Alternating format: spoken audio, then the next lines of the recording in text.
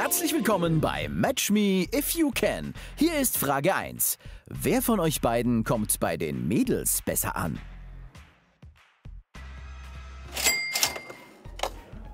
Punkt. Frau. Bin ehrlich. Ei, ei. Frage 2. Wer hat die besseren Schulnoten? Eindeutig ich. Oha, Bro, na. Sieht man beim Schulabschluss. Frage 3.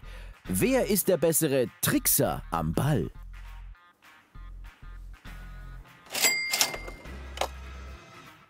Frage 4. Wer von euch beiden ist der bessere Sänger?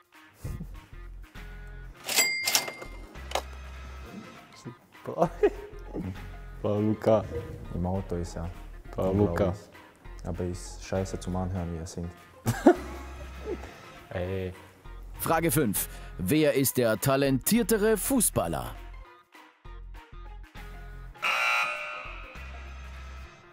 Du. Sicher. Du talentiert. Okay. Was glaubst du? Okay. Frage 6. Wer würde am ehesten durch die Fahrprüfung fallen? Bro, bitte. Aber eindeutig. Wer hat Führerschein? Ich habe noch nicht angefangen. Ja, trotzdem. Du bist noch nie Auto gefahren. Sicher. Frage 7. Wer von euch ist häufiger im Balkanurlaub?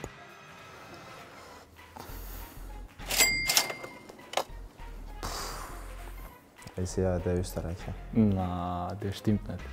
Stimmt. Sicher. Frage 8. Wer hat den besseren Modegeschmack? Ja, wenn du da nicht ehrlich bist. Frau Luca. Frage 9.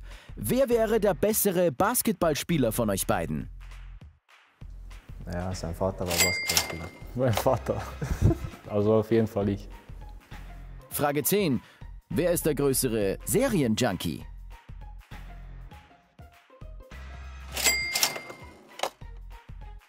Prison Break. Das ist schon das gleiche. Ja. Top, ich kenne mich aus. Frage 11. Wenn ihr in einem James Bond-Film mitspielen würdet, wer wäre der bessere Bösewicht?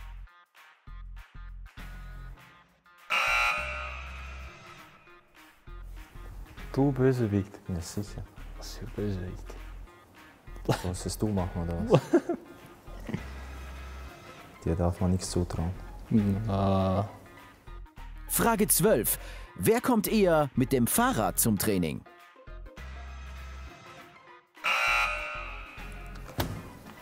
Boah, na, Mann. Du gehst Na. immer, fährst immer mit dem Auto irgendwo Ich bin sportlicher, Bro. Na, nie im Leben. Okay. Nur mit dem Auto unterwegs. Hey, wir müssen wieder einen Punkt machen. Frage 13. Wer verbringt mehr Zeit vor dem Spiegel? Ja, das, da Der bin ich ehrlich. besonders auf die Haare. Ja, das ist mir wichtig.